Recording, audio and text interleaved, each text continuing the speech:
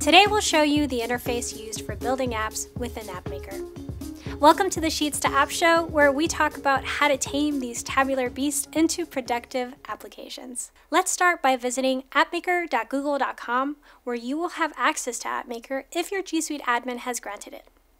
Upon logging in with your G Suite account, one has the option to create a blank app or leverage any of the templates.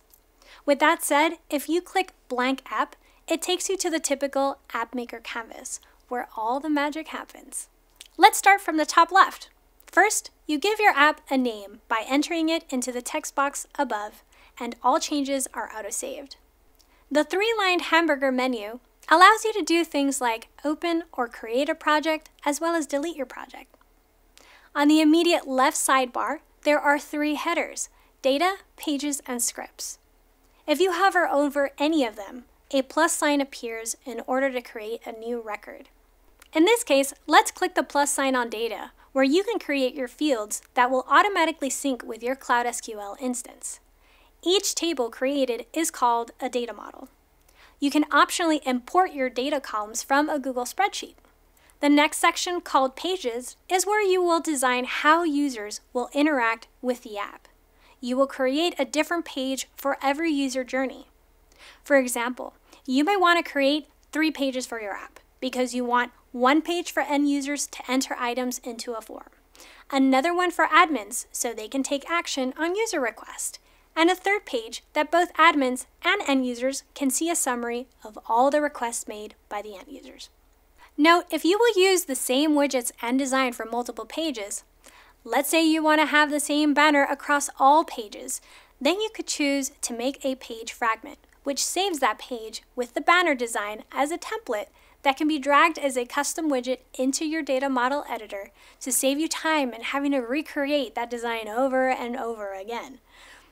Then there are pop-ups, which are dialog boxes displaying important information you would like to inform users, such as showing a transaction is in progress or confirming a request was deleted. The app is basically a series of widgets put together on each page by dragging and dropping them onto the page's data model editor. You can find widgets by clicking the four squared icon below the name of the app and scrolling or typing in its search box for a particular widget. Widgets bring in specific functionality to your app, such as creating a form that collects data from users, and you can bind these entries to your Cloud SQL database. Just to name a few main widgets, you can add star ratings, tables, buttons, multi-pick lists, a user directory, a drive file picker, or make your own custom widget. One can make app interfaces beautiful too by using the Images widget, HTML box, headers, and can even import icons from the Material Design gallery by giving it the name it has in the gallery and selecting its style to be an icon. For those newer to Material Design, it is a library of responsive icons and cards. Out of the box, one can change the color or the style of icons by selecting a widget and then choosing an option from the Styles dropdown, which is located right next to the widget's icon. Here, I provided an example where I inserted a label widget and converted it into a star icon. This is possible because AppMaker's seamless connection to the Material Design Library. As long as I select Icon from the dropdown and change its name to Star in the Property Editor to the right, it automatically turns my label into a star icon. The dropdown next to Styles allows you to change the data model editor's canvas size in case one wishes to build an app for a very specific device screen. Otherwise, the default customize is recommended. The button next to the device display creates a grid on your canvas for more precise alignment during the UI build. The undo and redo buttons on the top right help do just that or you can use keyboard shortcuts like Ctrl Z to undo. The last and third section of the sidebar on the left is called Scripts, which allows users comfortable with using code to add customizations such as sending email notifications via a client or server script. There are links to scripting in AppMaker and Apps Script in the description if you wish to learn more. Moving on to the sidebar on the right is the Property Editor. When you finally drag and drop widgets on your pages and you have the widget selected, this sidebar lets you bind your data to it. At the bottom of the editor is a section called Security, which allows you to configure page level permissions in case you would like admins of the app to have access to different pages than your end users, for example. Or you can also create custom roles. If comfortable, one can optionally use CSS and HTML if desired, but this is not required by clicking the Art Palette icon in the property editor, which has code completion for easy styling.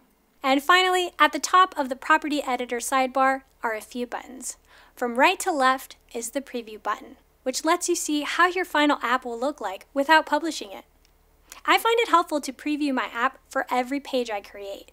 When in preview mode, it also has a log section at the bottom, which allows you to see if there are any errors happening if you wrote a script to automate events. The next button is to publish your app when you are ready to make it available to users. You can deploy multiple instances of your app with completely different data for different departments, or clone the same exact data and name each version Test Sandbox version or Production version, for example. If you click the drop down icon by each deployment's name, it offers more editing options. However, you cannot change the name of your deployment once published. You would need to launch a new deployment to do so.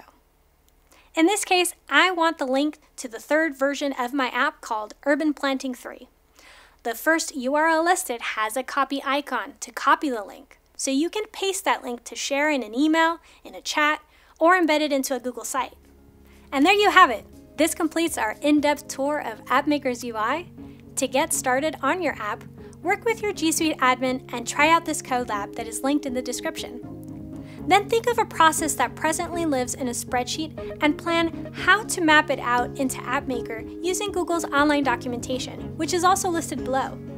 If you found this episode helpful, please click like and subscribe. Cheers!